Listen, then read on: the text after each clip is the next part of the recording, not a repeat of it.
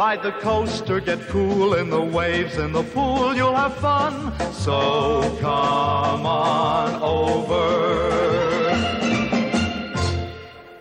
Thank you, everyone, for joining us this evening. I think this is going to be a lot of fun.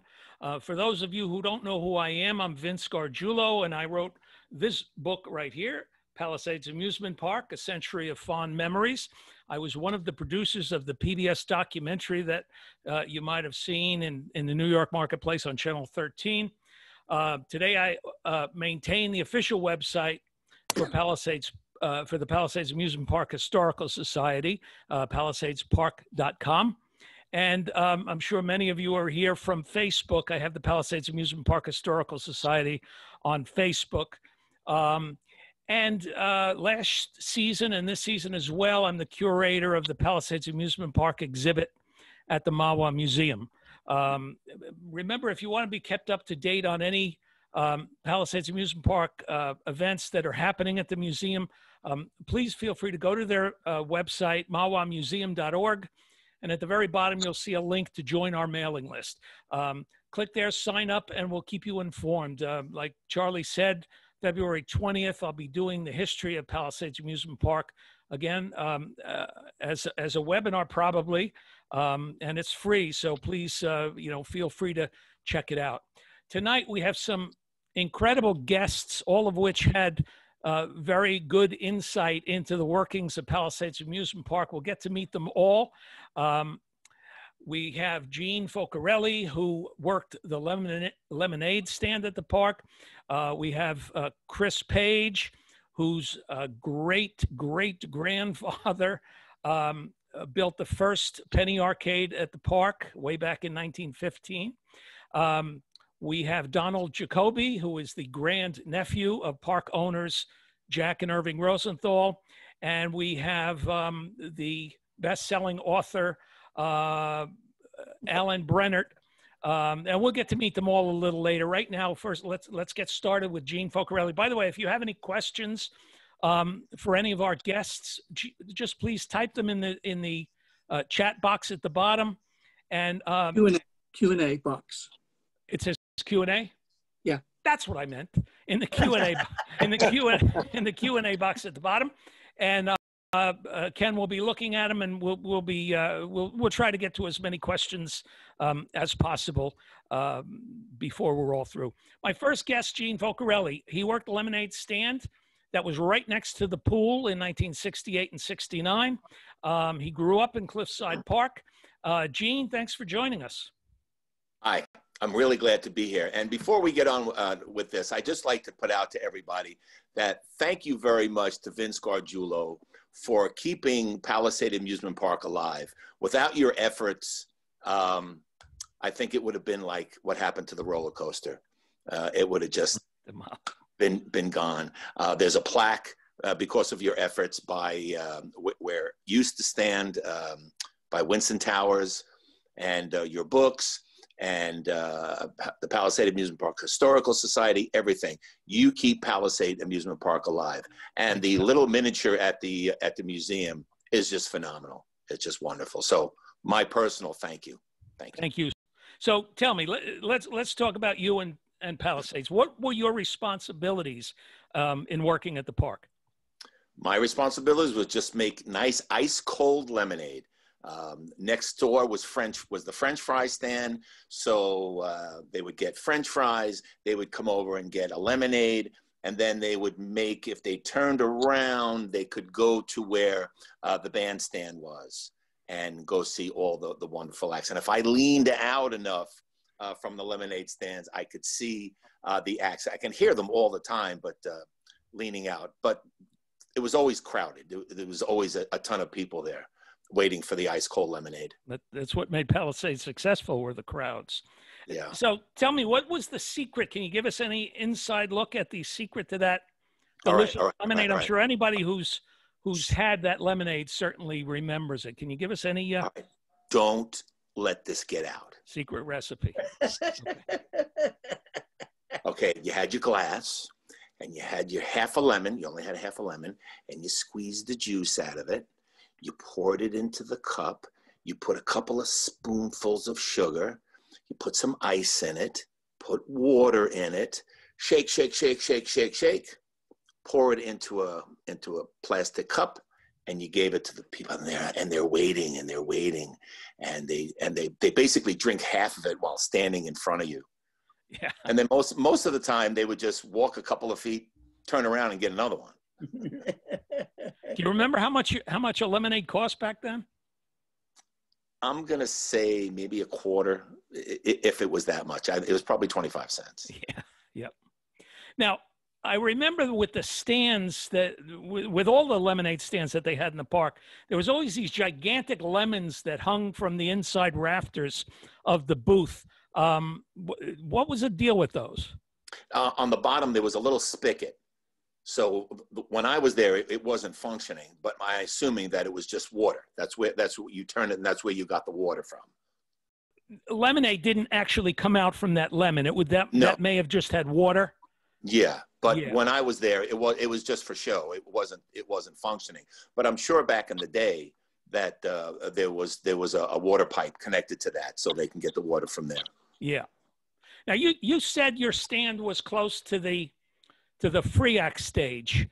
Yes. So on a weekend, like I mean, did you ever have a chance to actually get out of the stand, maybe take a break and see some of the Yeah, artists? I- Yeah, I, we had a deal with the French fry stand. They, they couldn't give it to us in the contain in the cups because they were counted. Um, so they would give us, you know, they they they cut the box where the where the containers came in and give us French fries, and we would give them uh, make them lemonade. So I would take a lemonade, I would take some French fries in the box, and just walk down to the uh, free act stage. And uh, you know, what was my break? Uh, 15 minutes or so, and and just and just stand there and eat the French fries with the. Um, uh, there was no ketchup allowed. There was malt vinegar and salt, and uh, and drink the lemonade, and then say, okay, go back, go back to work. But like I said, just lean out. You able to see the the acts on the stage, and across was a little penny arcade that, ironically, my grandfather used to uh, work there. Many. oh, is that years. right? Yeah. What, what was your favorite ride at the park? You got to ride on most of the rides that were there, right? Yeah. Um, the cyclone at the end, uh, but the one that got me all the time that I really liked because it was the wild mouse. Because the wild mouse, you'd go up, you know, and it would turn really, but then it would go like you were going off the end of the cliffs and Mhm. going into the Hudson River. It but was a great coaster, great wooden at last, coaster. at the last second, it would make that turn. But you knew that you were safe, but you always just had that uh, one uh, microsecond of doubt, which made it spe- Right, made it right. spectacular. And, and part of what, what made that ride so special was you were sitting in a car that only held up to two people, I think, That's and it. the wheels were set back. So as it, it- it- all the curves were very sharp. So because the wheels were set back, the front end of your um, of the of your car actually was looked like it was going off the track, we're going and it- off, We're- and it was. But then it would make that that sharp turn, and yeah, that was. A, I I agree with you. For a coaster, that was one of my favorite coasters ever. yeah, yeah, Um, and you remember they had batting cages, yes.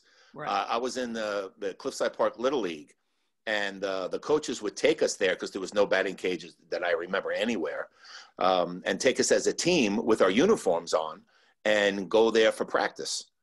Uh, Saturday mornings, um, you know, when there was a holiday from school, and uh, I'm not sure what it cost. Was it maybe 10 cents or 25 cents, and you get I don't know how many balls, but it was a place to to actually practice and get your swing down. Um, it was it was really a lot of, and plus you're in the you're in the park. and a lot of kids, especially a lot of the local kids, certainly got a lot of their uh, early little league practice at Palisades. Oh yeah, yeah, The- People have said that Palisades, um, it attacked every sense. Uh, you know, the taste of the lemonade and the colors of the, uh, I mean, the neon uh, lights at night were, were spectacular to look at. Um, I remember the smells of Palisades. I, I remember the smells of those French fries you were talking about. What do you yeah, have any memories like that? Yeah, uh, from where the lemonade stand was, was right next to the pool to the right. The pool was there, but then you'd go up a hill, and at the top of that hill was the Belgian waffles. And man, if you had some, you had some change in your pocket, you got Belgian waffles with the strawberries on it and that fresh whipped cream. Nothing better, and that smell was was tremendous. I, I agree with you, and I remember it was it was because that that particular waffle stand you're talking about was so close to the pool. It was this mixture of the saltwater spray that was coming from the from the uh, waterfall that was in the pool that was mixed with that vanilla smell of the waffles, and it was Oh a- man, I wish they could put that in a spray can. Uh, like- um, do you remember the Funhouse? yes, the the fun house was was really cool. It had just it was like a thousand things to do, and it- you know you just didn't walk through it. It was just so many things to do. But what I liked was that giant wooden tube that everybody tried to stand up and go around and go around, and you get so far, boom, and you go down. That thing was hard, but you still you got up and you tried to do it again. That was really cool. I just stood there and stared, and then the guy would show me where the door was, so I didn't have to go through it to exit the place. Um, any favorite memories of the park before we open this up for uh, Q and A? Well, living in Cliffside Park, um, I was on the other side of Lawton Avenue. Um, still, I was able to hear the click, click, click, click, click of the cyclone, and then silence, and then scream. And we heard that. I'm sure it, all of Cliffside Park heard it. But it, it's the it's the smells, it's the sights. When you got closer to the park, as a kid growing up, we if you didn't we didn't have any money, so you go around town looking for a match uh, a matchbook, and if you were okay with the matchbook, you can get in for free. And there was always something a strip of tickets on the floor or something. But if you were if you were lucky, you took down the striker and you saw the little pal figure. You were able to get a strip of tickets, and I think you got a hot dog and a soda with that. I'm, I'm i think it was sure a couple of free rides if if if the little pal guy was in the match. the little pal was There there. was, uh, but and living in town too, if you walked into any of the stores on Anderson Avenue, um, there were piles of discount tickets, which got you the free admission. And then if you brought that ticket to the administration booth, I think that's when you got a strip of tickets for 85 cents or something like that. just growing up there, hey, what do you want to do today? Let's go to the park. That's what we called it. We called it the park. Let's and and I lived a block away from you in Cliffside, and uh, you know we were very blessed to be able to have someplace like Palisades that was our playground. I mean, literally. How about opening day for school? They clo- closed the schools last then. day, last day of school. Oh, last day of school. It was we, we had a we had a, a parade. Yeah. All going to the park. Come and on. that and that was something that the Rosenthal brothers, the owners of the park, that was something that they did um, right up until the end. They made a deal with the with all the public schools in Cliffside and Fairview, and um, on the last day of school, all the kids from from the different schools would march in a parade, and it was a big deal. I mean, town officials, the mayor, and the police department, and everything was part of the parade. The high school marching band and one by one each school would would you know uh, get in line they would march their way up to the park then they would give them that strip tickets the combination tickets which had rides and that's where there was always a food uh, ticket a hot dog and probably a lemonade uh, on that and although the park gave all of that for free to all the kids in town um, they knew you know they they were good businessmen they knew that parents would meet the kids there and the parents would pay to get in you know aunts uncles uh, everybody would kind of join in and it was a, a, a great day of fun and especially for the kids that, that became the traditional last day of school for for many yes, it was. Yes, it was. And there was some kind of rumor going on that there was a hole in the fence. Shh, shh. Oh, I don't know. Maybe we can talk about it. I'm not sure. Yeah, you know, I would. I'm gonna. I'm gonna let Donald uh, uh, tell us about the hole in the fence. But uh, Gene, I want to thank you. Uh, Ken, is do we have any questions so far? We do. We do. Yeah, we do. Let me, uh, one is, uh, what happened to the carousel horses? The carousel horses stayed with the carousel, although uh, Irving could have made a fortune if he if he broke up the carousel when the park closed and sold it as piecemeal. because um, back then it was really very chic to to own a carousel horse, um, and he could have made a fortune with it, but he wanted the carousel to live on. Um, and it goes on for a couple of pages in my books. It, it talks about what happened to the carousel after it closed. But uh, long story short, it's in Canada's Wonderland, and I think it's Ontario, Canada. And they refurbished it, and the the um, the carousel is still in operation today and still looks wow. as great as ever. Outstanding! How great is that? Road trip. Yeah, right. right. yes, we need to get a picture of the carousel today. Yes, uh, yes. Uh, this, go ahead. I'm sorry. Any other questions, Ken? Oh yeah. Um, how old was Gene when he worked there? Uh, was this a summer job for you, Gene? Yes, it was. Yes, it was. Yeah, I was still in high school. So what, 16, 17? 15, 16. You could get working papers. That you know, Palisades yes. was was the place. I think at 14 you could get 14 papers. Yeah. And if you were a kid in town, they would give you a job. They'd find a yep. job for you if you wanted to work. That's right. Okay. Um, is Hal Jackson still alive? He passed uh, a few years ago. I'm, I'm thinking five, five years ago or so. Who was your favorite act that you saw or heard while you were working? I guess that might be a question for Gene. Or yeah. I guess oh boy, um, uh, I love the Young Rascals. I remember they were there. I remember seeing them there. Well, the Rascals later on. They weren't the Young Rascals anymore. But um, it's just every time I worked there, there was somebody on stage. There was.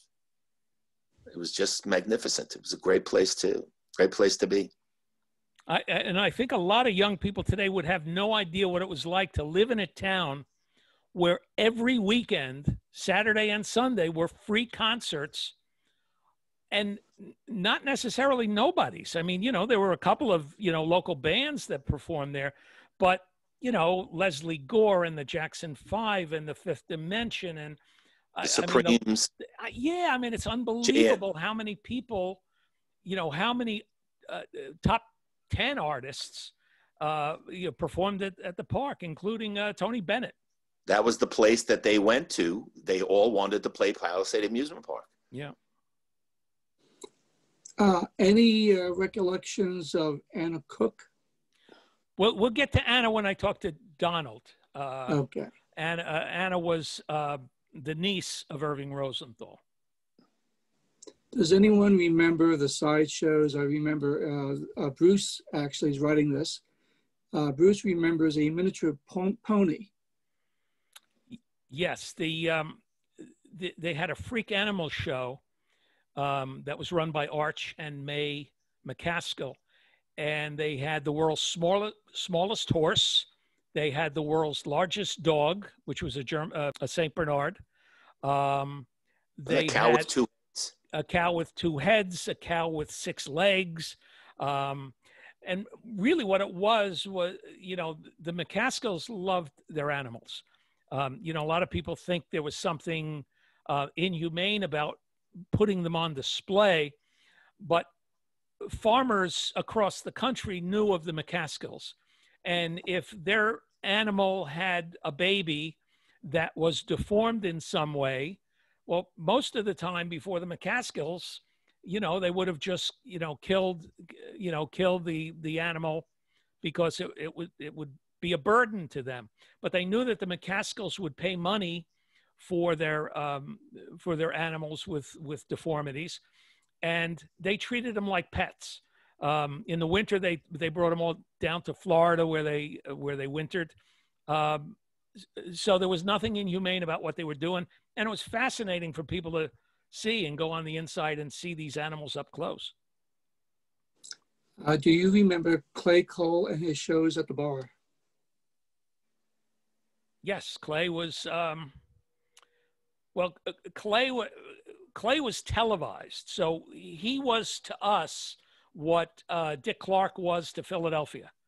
Um, you know, he had a, a, a, weekly show that that that was aired um, from the casino that was by the pool, and um, he had all. He was, in fact, he was the first host in the United States to to uh, show the um, Rolling Stones. That was the first televised appearance of the Rolling Stones was on the Clay Cole show. The uh, the question list is growing. Do you want to continue? Yeah, let's Uh, let's go on with our guests. We'll we'll get to some questions later. Thanks so much for having me on, guys. I really appreciate it. This is wonderful. Gene, if you could stay with us, I'm sure we're Oh, gonna, absolutely. we're going to I'm be talking here. some Yeah. more. All right, terrific. Um, okay, so let's talk about uh, Jack and Irving Rosenthal. In 2018, Irving was honored by putting him in the Hall of Fame.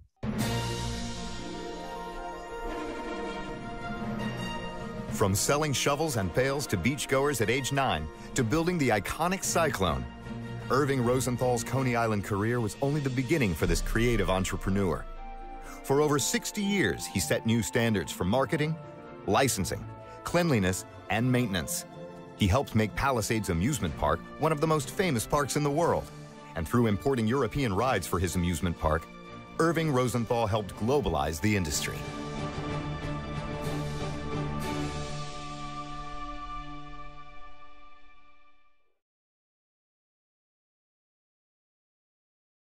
We're, we're very fortunate to have with us now uh, Donald Jacoby, who is the grand nephew of Jack and Irving. Uh, Donald, welcome.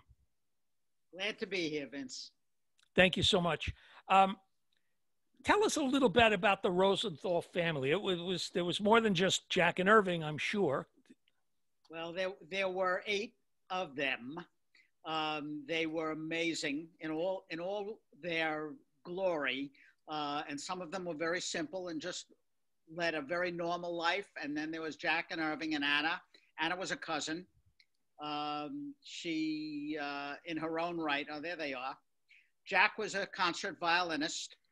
Uh, that's how a lot of the funds were eventually raised to rebuild the park after it burned, because it was not insured. That's Jack. There's there's Jack. Yep. Jack was the first violinist of the St. Paul of the St. Paul Symphony Orchestra. Um, at 13, he was already an accomplished violinist. That's impressive at 13. At 13, Uh, Don, w- weren't there two of the Rosenthal children who was part of a great New York disaster back in the early days? uh, yes, my grandmother and my grandmother's sister were in the Triangle Sewing Factory. Fire. That was Molly and Rebecca. that's correct. And then the, and the Triangle Shirtwaist Factory was a fire that happened 19 1911, I- yeah, I think you're right. Yes. and they they survived that, didn't they? They survived due to uh, two of the students at, N- at an NYU dorm that were directly across the street who laid a plank between the two roofs, and that's how they and two other women got out. And- Otherwise, I wouldn't be here. Yeah. Oh, that, yeah, that's true. There was another brother besides Jack and Irving who who worked at the park. Yes, Sam. Uh, and Sam actually was in the handbag business in Brooklyn, but uh, when the park was in operation, he ran the parking lot. Uh, he was very verbal. He was very definitive in his needs and what he wanted and what he wanted the drivers to do. Uh-oh. and he made sure that there were no accidents in the parking lot. But he, he really wasn't active in any other of the operations of the park. And then somebody before asked about Anna. Um, can you tell us a little bit about a lady named Anna uh, Halpern, I guess, originally? Uh, Anna Halpern was her first married name. Um, her uh, first husband was the uh, personal detective to uh, Mayor Impellitteri in New York City. And eventually she remarried uh, Henry Cook, who was the president of the Carpenters Union and became active in the park after they married. And something that very few people know on their marriage, Anna was given the saltwater pool as a gift and the receipts. Anna actually ran the park at night. She was the night manager. Okay. All right. So her day would start when most people's day ended, and then she would close the park. And she loved to count money. There she is There's Anna with Anna with Irving. with Irving. Yep. And what an incredible gift to give your niece the swimming pool as a gift and She the proceeds. She actually deserved it. She was one of the hardest working ladies I have ever known. Yeah. Uh, Yeah. Anna also had a hobby. She had uh, two lion cubs that she kept in the office with her. And when the park closed, uh, they were sent to a zoo. And every day, Anna would bring 50 pounds of meat for them. Oh my lord. that goes back to the 70s. Yep. What what kind of boss was Irving to his full time employees? He was wonderful. Um, Irving actually did something that uh, is almost unheard of today. To all of his full time uh, employees, uh, health health insurance was provided, no cost to them and their families. And that was pretty rare for for Very rare. an amusement park, certainly for. I, uh, I actually didn't. I actually didn't know that until I got a little bit older, uh, and I was soliciting my uncle for health insurance, and um, he turned me down uh, very graciously and told me that uh, he he was already taking care of it and told me how. I was amazed. Very nice. And Jack, who who was also running the the park with his brother, he he eventually got sick and took a lesser role in the daily running of the park. Yes, he did. He basically, in, in his final years, he did not even come in. But Irving kept his desk in uh, the administration building in Irving's office. It said Irving and Jack Rosenthal on the door. And uh, every now and then, Jack would come in and visit, but he really wasn't active. Mm.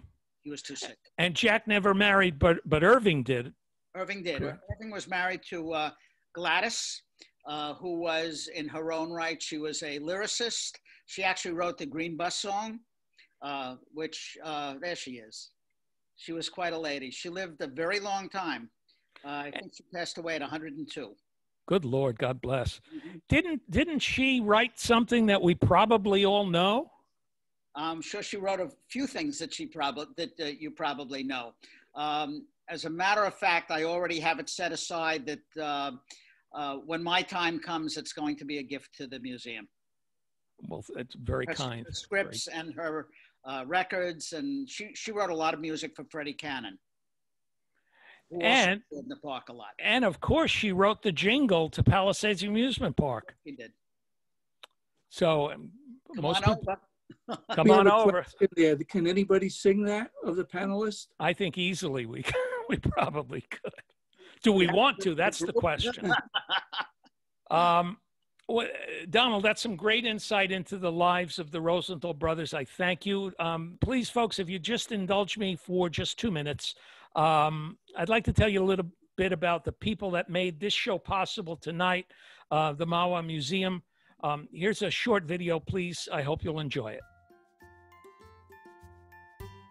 I first discovered the Mahwah Museum when I attended a fabulous exhibit on one of the greatest guitar players in the world and also a Mahwah resident, Les Paul.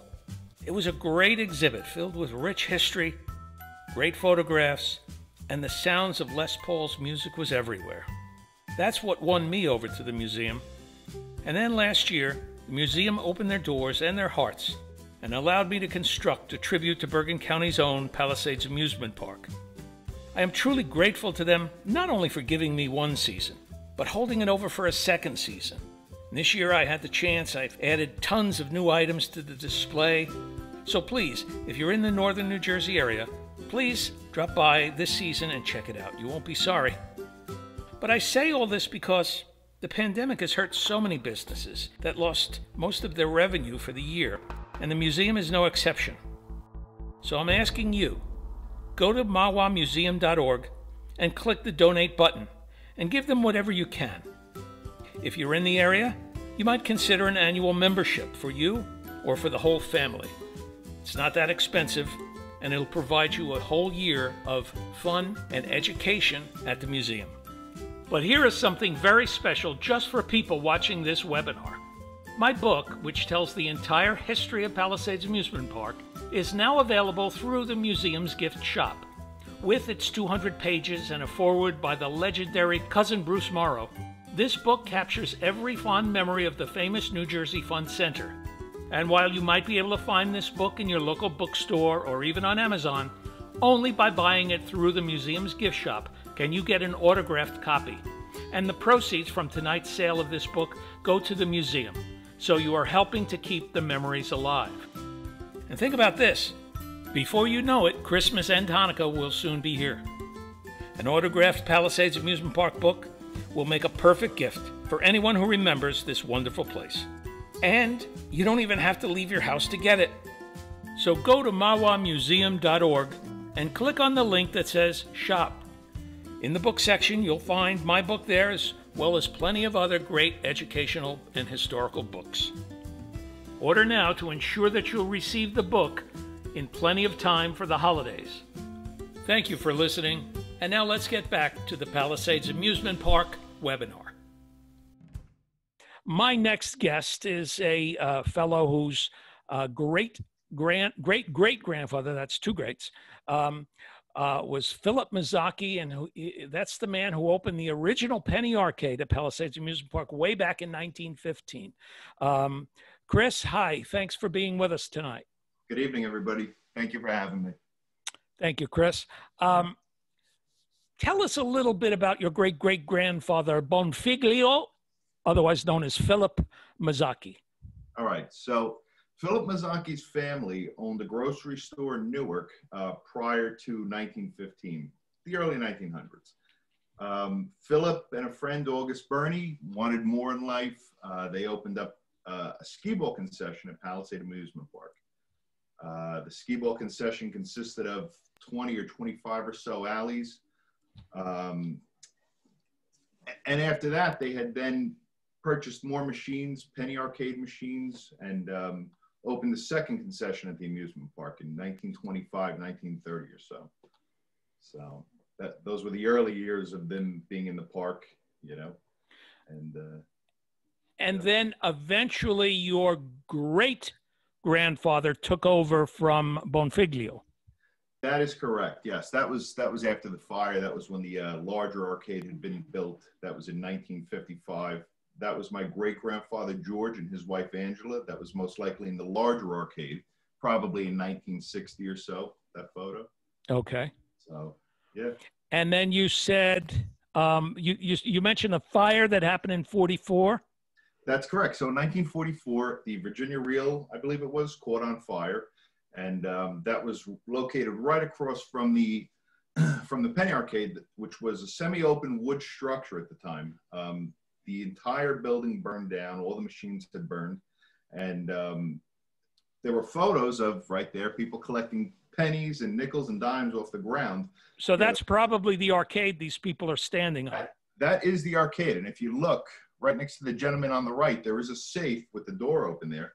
Okay, They're actually yep. those are people most likely from Cliffside going through, you know, going through the rubble, collecting coins off the ground. And um, early on the morning after, uh, I know, I believe it was my great grandfather George, my grandmother said, had gone there, opened up the safe, and uh, inside the safe, all the dollar bills had been charred, of course, beyond recognition. And they, there was actually a clump of metal. All the coins in the safe had melted together. Wow! And uh, that's how intense the fire was. And your grandmother still has that that clump of metal. She, she had it she has no idea what she did with it. Oh no! Because I would have it, obviously. yeah, it's probably still in her attic in Cliffside with probably when she sold the house. Probably, yeah. Yeah. Now there wasn't just one penny arcade because Gene mentioned that there was an arcade across from his uh, uh, lemonade stand. How many how many arcades do you think that your family had in the park? So in the early days there were two, I believe, or my aunt Terry had even said at one point one might have burnt down there was a 1925 fire or, or an earlier fire before 1944. 30, and there was one in 34, 1934, yeah. Okay, gotcha. All right. And then pro, after the fire, in the later years of the park, we, we had three concessions there. They had the large arcade, which consisted of over 400 machines or so. Uh, that's the large arcade. Uh, in the background of that photo, you see Philip Mazzocchi behind the change booth, all the way in the background. Um, there was a smaller skee ball concession, and there was an arcade that I was that I believe was called the Recreation Building. That was more so toward the front of the park by the administration building. Now, this picture with all of the um, uh, the the cal- telescopes, uh, the the movies. Yeah. Um, this was the large arcade, correct? That is that is correct. Yes, yeah. yes, and that is right. And, That's the large arcade. And this this machine, I don't know if you can see my cursor here, but this machine right in the front, this machine was donated to to uh, the Palisades Historical Society, um, and I've been trying to get this thing to work. Um, it's it's a money pit, but someday I'll. When it's been I'll sitting for fifty work. years, right? Not yeah. easy to get them going. No. I actually, I actually got my hands on a uh, Apollo rifle uh, gun game last year. Oh, really? that I intend on working on. Yes. So Well, maybe I'll maybe I'll ask for your help on this one. absolutely, Um, and this is also the large arcade, correct? That- that is correct. Yes. Yep. Okay. Yeah. You you recently um, obtained one of the original games from the park. This is the game you you originally got, That is correct. Yes. So and then you. uh, What I didn't realize until we chatted just last week is Yep. that you did most of the restoration of this that is correct. this I- game. Yep, I had a little bit of help on the cabinet itself. You would look at the uh, coin mechanism had been altered, and um, all of the all of the nickel plated components of the machine, you know, had corrosion on them. And yeah, I had everything chrome plated, and uh, the cabinet I had help restoring it and repairing it, get, getting the coin mechanism back to the original uh, push coin slide, and that's the restored machine right there. And that I machine- mean, the the quality of the work on this is just phenomenal, Chris. My my hats off to you, sir. Thank you. That that machine had sat. My grandmother owned a four-family apartment building on Wayne Avenue, right down the block from the park. And and any machines that weren't sold when the park closed were put in that basement and sat there from 1971 until 1998. And I found the guy who bought that machine out of her basement in 1998. He had photos of it, and I purchased that machine about three years or so ago. And um, it had just sat for 50 years. you know. Very very nice job on it. Yes. Um, now, both your grandmother and your grandfather also worked at the park. So, I mean, it's it's this is definitely a family affair when it came to the correct. penny arcades. not only, not only did they work in the park, my, my mother did. My father uh, worked for Eddie the Pollock at the balloon Oh, stand. my goodness gracious! Um, Joan worked the duck pond. Um, Pierre worked in the penny arcade. There's uh, my, my grandfather Pierre, my grandmother Joan, and their son Jimmy. Um, Pierre worked in the penny arcades from when he came over here from Italy in 1957. Um, after George had passed away in 65, Pierre went to work directly for Irving Rosenthal, running the Cyclone for the last six years of the park. That's Bruno Musa, the co-owner of um, the Penny Arcade in later years. and who's the cute baby? That's my mother. That's Joan and Pierre's daughter. Uh, so that photo is probably 1957. You can see it's probably late winter, right? Uh, the park, the pool. the Oh, pool, sure, yeah, yeah, You know, yep. um, yeah. So a lot of history in the park. Since I, I'm 32 years old, I never made it into the park, but my whole life, all I heard was was Palisade Amusement Park stories, and um, I've heard hundreds of them. You know. But you you know your family had such a connection with that park, and certainly if the park would have went on another ten years, y- you would have been working there and and and had an important job there too. Absolutely. Yeah. Yeah. All right, Chris, thank you so much. If you could stick around with us, I'm sure we're gonna we're gonna have questions later. Absolutely. Thank you for having me, everybody. Oh, I appreciate it. Thank thank you so much. Um, now, my next guest, um, Alan Brennert. Alan grew up in Bergen County, um, in both Cliffside Park and Edgewater, um, with the sounds of Palisades Park raining down on him from the Palisades Cliffs. Um, he's an Emmy Award winner, has worked in television on LA Law, The New Twilight Zone, The New Outer Limits, and China Beach. He wrote for the comic industry for DC Comics and created the character of Barbara Kane for, for the Batman universe. Um, and Alan is um, a best selling author. His books include M- Molokai, Molo- Molokai. Molokai, Molokai, Honolulu, daughter of Mono, uh, Molokai, and one of the most enjoyable novels I have ever read, Palisades Park. Um, Alan, did I miss anything? No, no, although Palisades Park is also available in a handy paperback edition. Yes. It's Uh, great to be here, Vince. Th- thank you, Alan. It, it's it's it's an honor to have you here, and all of all of my guests tonight. Um, I couldn't be more proud to be with all you guys uh, here. You know, for the folks that are watching. Um, Alan, let, let me ask you a question about your book, Palisades Park. It, it's an it's a fiction. Uh, it revolves around a family called the Stupka family. Um, can you give us a, a little synopsis about the book? Well, the main character of the book is uh, the uh, little girl, Antoinette, um, Tony Stopka. And she grows up at um, Palisades Park, uh, seeing, you know, her, her parents, Eddie and Adele, are concessionaires. They actually own the French fry uh, concession in this alternate universe. And uh, she grows up seeing the high divers like Arthur Holden, uh, you know, diving 100 feet into a tank of water three feet deep. And uh, this becomes an obsession with her, and she grows up. Her dream is to become a high diver. Everyone in the family has kind of quirky dreams, uh, so so it's it's it's a family saga uh, set against the background of Palisades Amusement Park. Something I knew very very well from my childhood because we always lived like within a mile of the park, and it was a big part of my childhood. As it was for so many people, mm-hmm. my, myself, I, mean, you know, anybody who lived in the area, mm-hmm. it, it was just a great place to be so close to. Yeah, I have I have uh, friends in the comic book business who say they saw the little ads for Palisades in uh, uh, in the comics that had Superman holding a, a scale replica of Palisades, mm-hmm. and they said, and we it looked so magical, and we wanted to go to it there so badly. You lucky bastard, you actually got to go there. now, although the Stupka family in your book is fictitious, you um, not only is the setting very realistic and very accurate, mm-hmm. um, as a person who grew up in Cliffside Park, um, it was a treat to read a book that talks about walking down Knox Avenue past Epiphany Church, and I'm saying, wow, it's like it's like I'm there. Um, but you also built your book around some real life characters um, that worked at the park. Um, tell us about Bunty Hill. Bunty Hill was um, a lifeguard uh, at Palisades, uh, but but he's really probably best known for the fact that uh, well he was he was a, a lifelong swimmer. Uh, he loved the Hudson River. Um, most days, the, when he wasn't working, he could be found down at Hazard's Dock. Um, and he became uh, kind of the uh, swim guru for generations of kids from Cliffside Park and Fort Lee. He taught them how to swim, often in the Hudson River, which we all think about now when we go, "Oh my God, are they yeah, are they still alive?"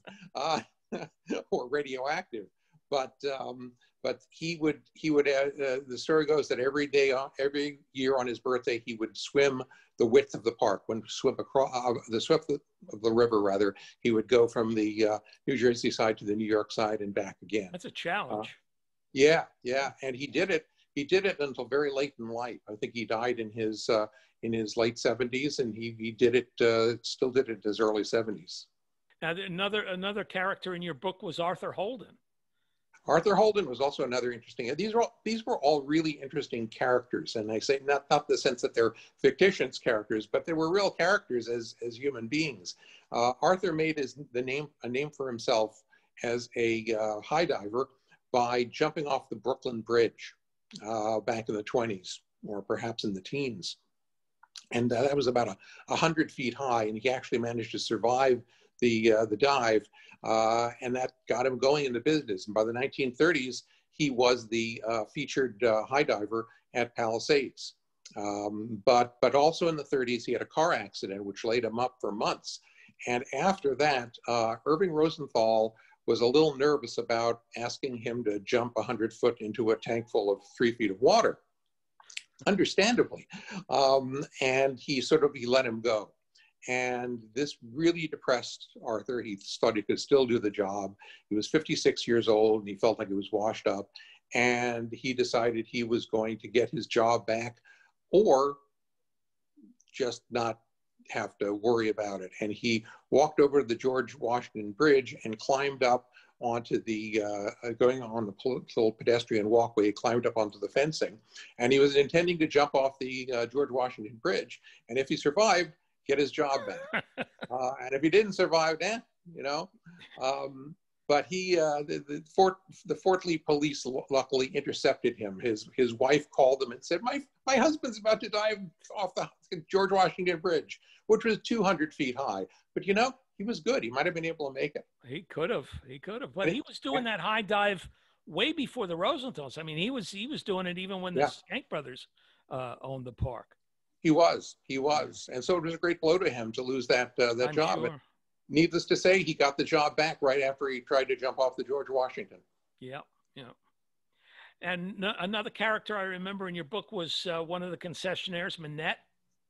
Minette Dobson was a, uh, a showgirl, uh, a dancer. She uh, toured the nation in various revues uh, in the uh, in the 20s. Uh, she was uh, from the uh, the Cliffside Park area, and she always she worked as a concessionaire. It was a cigarette wheel, I believe, for which was owned by a real, local real estate de developer with whom she was having a long running affair. Um, and uh, she was a character too. Um, I talked to her, uh, her nephew Gary and her niece Georgia, and they told me that after the park closed, uh, Minette and her sister opened up a dress shop in uh, Point Pleasant. And, um, uh, in, and she was in her late 60s, and she said Aunt Minette could still dance the rumba on a tabletop. Nice. And I learned about I learned about her and a lot of others from a woman named Norma Santinello, who uh, uh, graciously granted me two uh, long interviews. She she grew up playing in crates uh, that used to contain china uh, ware that was um, a, uh, a, prize in the concession that her her parents ran at Palisades. And when she grew up, she inherited the concession, and she gave me a huge amount of of, of wealth of detail about the people who, uh, who, uh, who, who there, because that's really what I wanted to do. I, you can't write a book that's you know just out of nostalgia. Uh, and although it had that nostalgia for me, I wanted to know about the people who made the park what it was. You know, the staff, the performers, the uh, uh, the concessionaires, and Norma really filled in all of that uh, all of that for me. I mean, she knew where all the bodies were buried. Yes. Now, the the the extensive research you did on that book just absolutely floored me. Um, I remember one time you called me with a question about, um, I think it was about Arthur Holden's trunks. You asked me what color trunks did he wear, and I had no idea. I said, "Let me get back to you." And I looked in all the newspaper articles I had. Nothing mentioned his trunks. I, I called you back. I said, "I'm sorry, I can't help you." And then you called me back a few weeks later, and you said they were blue. Uh, I, I, you know, most people who's writing fiction would just say, "All right, I'm going to call them blue or I'm going to call them red."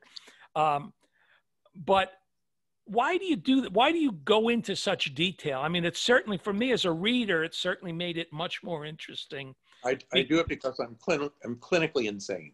Uh, that, that explains this is, it. This is not something that a rational person would do, but I I, I have this belief. I mean, first of all, I really want to immerse the reader in as many details as possible to, to, to, to recreate the past as closely as I can manage it, uh, whether I was part of it or, or not.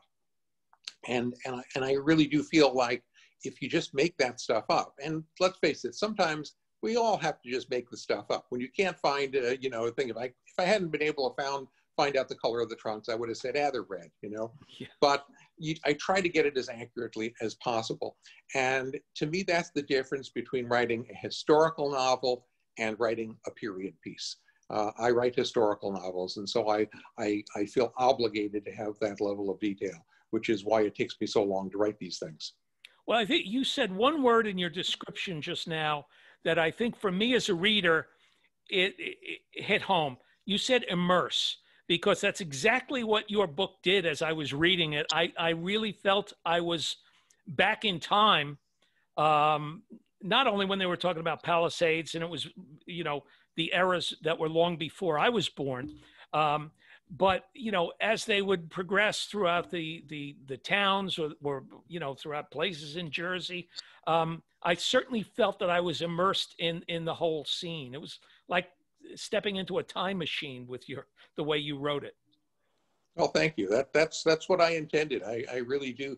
I mean, I, before I wrote historical novels, I wrote I wrote science fiction and fantasy, and there's uh, science fiction and historical novels have one thing in, in common. They're both about creating worlds.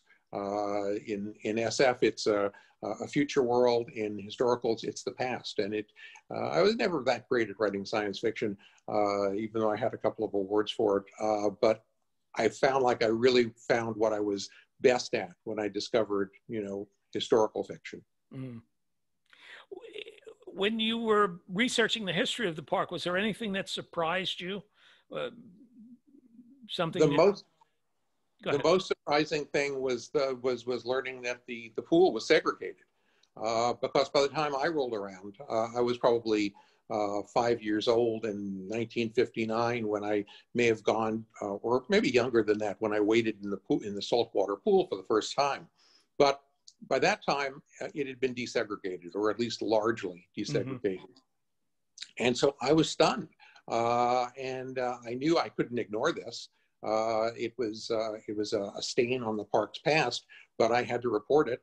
And, uh, and, and I, I went over up to the uh, New York Public Library, the, um, um, um the division up, up in Harlem, and they had old microfilm newspapers of African American newspapers of the time that had a lot of detail on the efforts to desegregate the uh, Palisades Park pool. And the more I learned about it, the more I, I learned, well, this is, this is, you know, not just something that should be told, you know, uh, uh, it's something that, you know, is potentially an, an, exciting, you know, plot development here too. And something that my character, Tony, can be a part of as well. So, yeah. so that was most surprising uh, of it to discover that uh, you know oh, the, the, this thing that I I held in such esteem, you know, it did have a dark shadow in its past, but sure. luckily it, it did resolve it, as did you know most places in the uh, in the north. And I think that controversy really went on for three years, the three biggest years, 1947 to 49 where it was every week there were protests at the park there were people getting arrested there were people fighting um, until uh, you know eventually they these they, it, they kept it very low key when it was desegregated and people were uh, you know people of all colors were allowed to to swim in the pool. But it was kind of kept hush hush um, which is why you and myself as well you know when we got to know the pool we didn't know anything about the uh, uh, the problems that they had back in the 40s and Irving Rosenthal claimed that, um, uh, I think his nieces told me that he said that uh, uh, he, um, you know, he only, he only did it because he thought that white people would not go in a pool with, uh, with black people. I and af- after that proved wrong, he said, well, I should have done this years ago. Yeah, yeah. Now, your latest work um, is a uh, comic book um, mm-hmm. Submariner Marvel's uh, Snapshot number one. Can you tell us a little bit about that? Sure. And I have you have a cover uh, of the uh, edition that I sent you. That was a limited edition. Uh, yeah, that's the that is a limited edition cover that was drawn by Jerry Ordway, who drew the uh, the the fantastic art in the interior. Um, and that's uh, that's, and that's, that's the, that's the cyclone coaster they're fighting. That's the cyclone coaster, and it's a, it's a they, we use the old logo. I insisted using the actual logo because the story is set in 1946 and I wanted the logo from 1946. There's another cover which I will show you in a moment, which is actually the one that is uh, more, more common. That is uh, the splash page of uh, of the story. Uh, Jerry Ordway is a remarkable artist. He is uh, meticulous when it comes to historical detail. He worked from research materials that I provided him and that he could find on the internet, and he bought on uh, uh, uh, bought himself. And he did just a fabulous job presenting, you know, the park. and and you wrote was, you wrote the story that this is. yes, I wrote the script. I wrote the script. I was approached by my friend Kurt Busiek who was editing this series, and uh, he uh, he said, you know, these could, stories could be set anywhere in time. You know, this could be, oh, you know, the Submariner goes out with uh, his girlfriend Betty Dean to Palisades Amusement Park. And of course, he threw that into me as an inducement, as if that would really tip me to do it. And and I told him later, I said, Kurt, you had me at Betty Dean. so I, I love that period of. I love the characters, the Marvel characters from the 1940s and they'd never gotten the chance to write them before. This is actually the cover, the Alex Ross cover, that is the most common one. So if anybody wants to uh, search this out, this is the one that you will be that, that well you'll find it the easiest and it's the it's the cheapest too.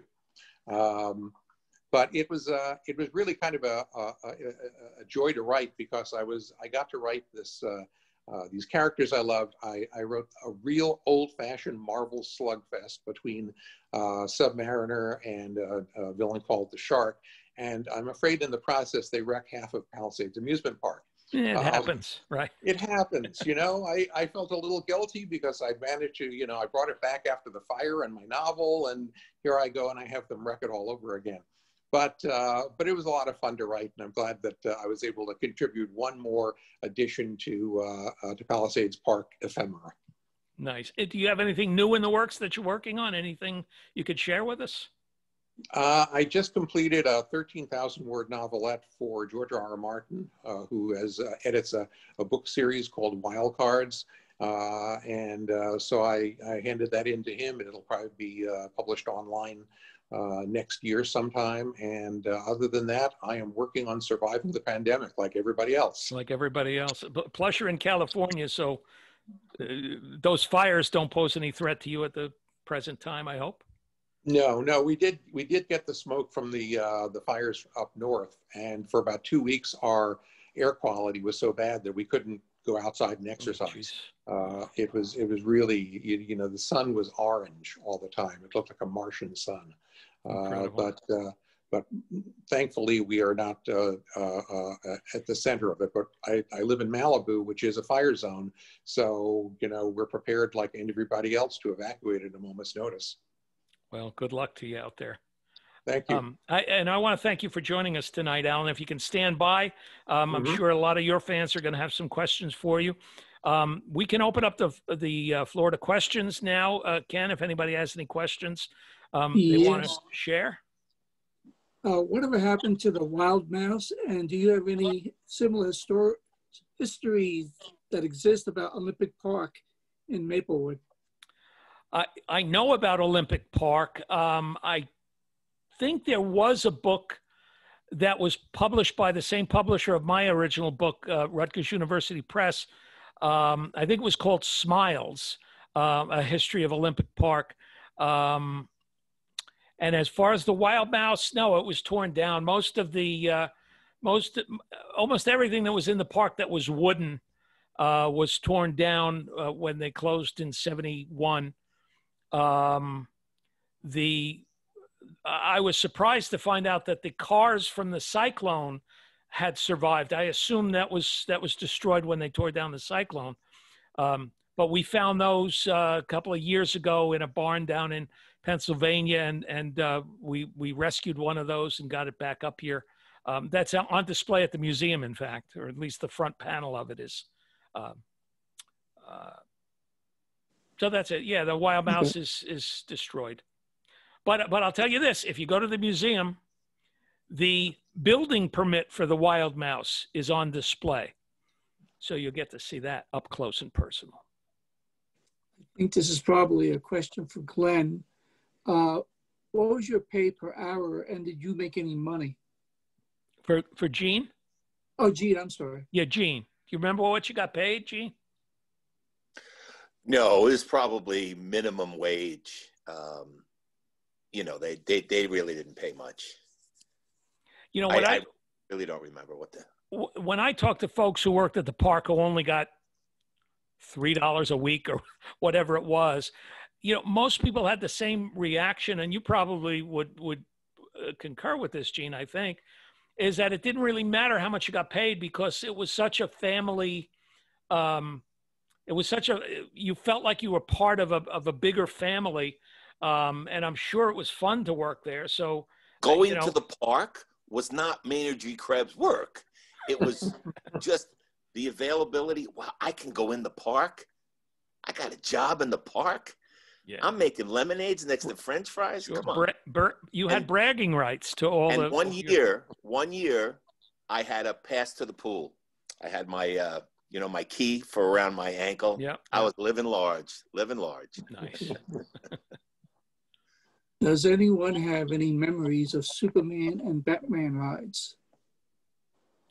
Well, there were two Batman rides. There was the Bat Slide, um, which was basically you climbed up these stairs like a spiral staircase. When you got to the top, um, they gave you a burlap sack to sit on, and you would just go down this chute uh, that spiraled around the outside of the building.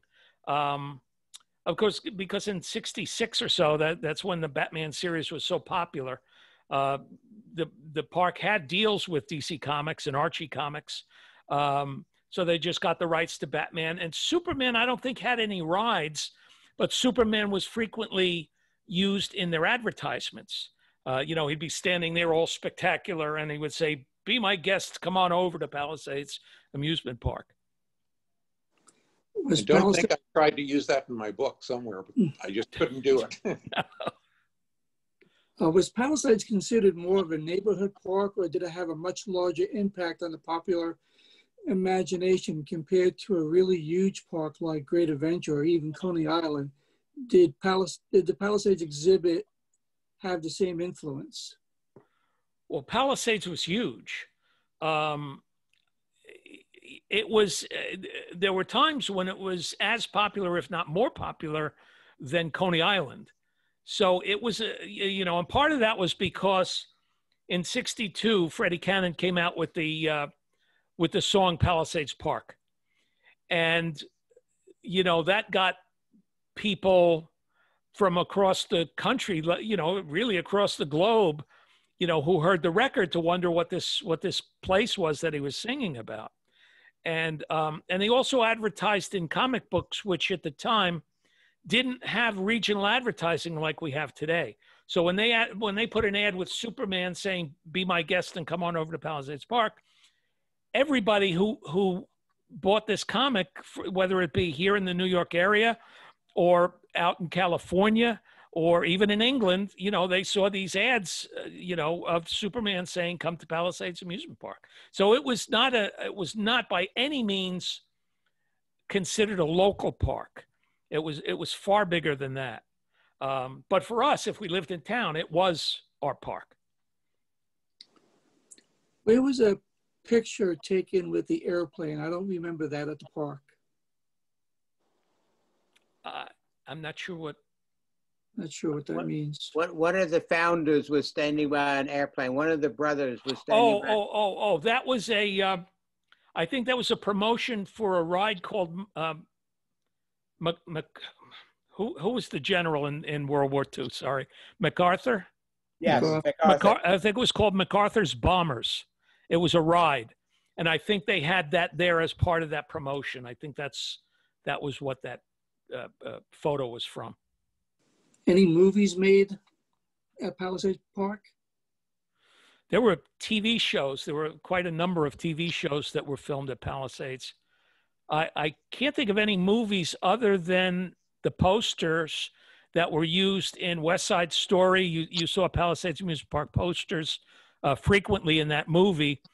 And um, in The Godfather, Gene, you know what I'm talking about with with the, in The Godfather, the there's one scene that for years I never knew it until I got a Blu-ray and saw the high definition version of this scene, where um, they're pulling up to Louis' restaurant where uh, Michael is meeting to to uh, to do in uh, the bad guy. Best veal in the city. Yeah, the best veal in the city. And as they pull up to the to the front of Louis, there's a Palisades Amusement Park poster on the on the wall right next to uh, right next to Louis. But you, yeah. you know, in the original version, you didn't really see it because it was no. dark. But they they they brightened it up as you know as new versions of that the the, the uh, Godfather were released. Are there any fine art paintings of the park anywhere? Boy, there's one on on YouTube. I mean, on eBay that has been there for at least the last twelve years and and the guy wants some I don't know thirty seven thousand dollars for it. It's not even that good, in my opinion. So I, I don't know. I guess it's fine art because he wants thirty seven thousand for it. Yeah, somebody made a comment that silent films were made along the Palisades, but I would imagine that's before the park was there. No, no, no, no. The park the park opened in 1898. Oh, and okay. and you know most of the silent films there were at least three that I found well, four, including one from Fatty Arbuckle, um, that were filmed at Palisades eh, eh, in in Palisades Park. Um, a couple of them you can't really tell um, because they didn't film rides, but they filmed like an entrance. But there was a, uh, a the very first Pearl White Perils of Pauline. uh, there was a scene that was filmed in Palisades Park. Um, so yeah, in the in the early days, because remember there wasn't a California, uh, there wasn't a Hollywood, California uh, in the early days of movies. It was Fort Lee, New Jersey, um, which is one of the towns that Palisades was in. So it it became you know a perfect uh, uh, setting for a lot of a lot of those early films. Does anyone remember being dared to go under the waterfall while swimming at the pool? I didn't. I wasn't there. Oh yeah, and there was a room in the back that you behind could go behind the falls. Behind the falls. Yeah, Really? yeah. There was a door, and you, you can go through it and and come out the other side. Uh, and you did that. It's okay. It's we won't tell. we do have a relative here though who who who may scold you. I never told you where the uh, gate was in the fence, The, the hole in the fence. the hole in the fence. It was right by Anna's house on the east side of the park. Ken, did you Oh, see? the- did you see the link for the for the song? I did see the link for the song. Somebody's asking if we could play it. Uh, I'm having a problem with my audio uh, on my Mac. Um, so I don't know if somebody else could access that. It's What the what song are we talking about? Palisades Park. The Freddy Cannon song? I Yes, believe I'm so, not- yeah. I'm not sure we have the right to play that. To tell you I don't think truth. you do. Yeah. This is a free. this is a free educational event. We didn't charge yeah, you money. yeah. Tell it to the judge. You know what I mean?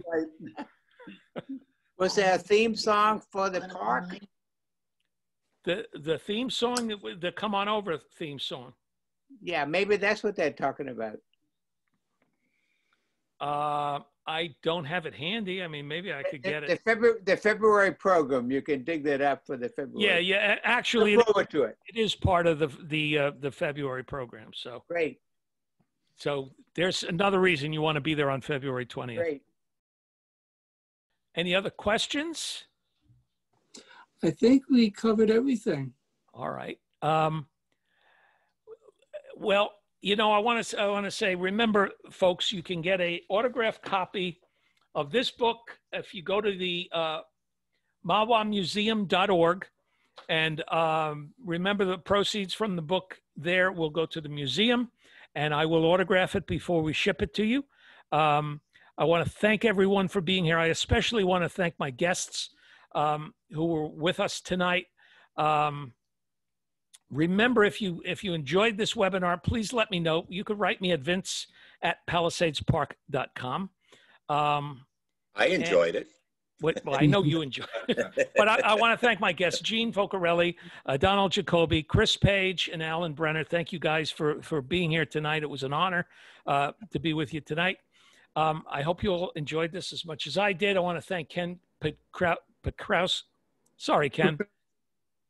Pokrowski. Pokrowski, uh, and and Adam, uh, who who are working for us behind the uh, scenes, Charlie Carreras, um, and Kathy Hadjo from the museum uh, for putting this all together. Please, folks, um, uh, uh, support the One, museum. one more, one Yep. more thing, uh, Vinny. Uh, thank you, Vinny, because you're the brainchild behind all of this.